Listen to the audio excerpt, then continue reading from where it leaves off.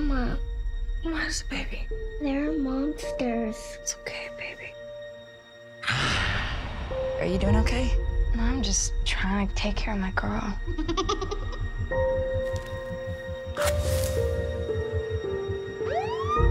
Drop the bag on your knees right now.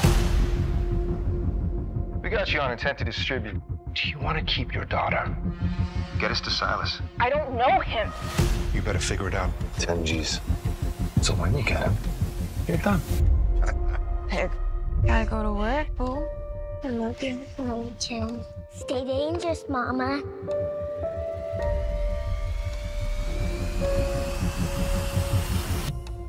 Get in. Did she just get in the car? Call this in now.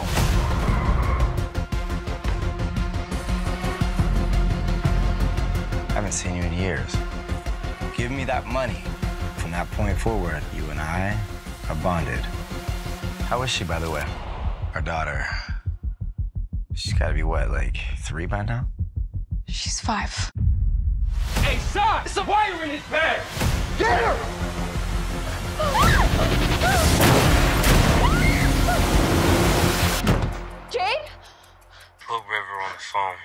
Where's my daughter? Hi there. We, we can make this right. You want to see her again? You gonna do exactly what I say. It's time we call this in. You want to tell our boss we lost a CI? We're this close to nailing Silas Butler. Are we? Where is he? They targeted me and I, I didn't have a choice. I need some help. I need a piece. Whatever you're facing, she'll protect you from it. You can't go back there. Alone, you can't. I have to.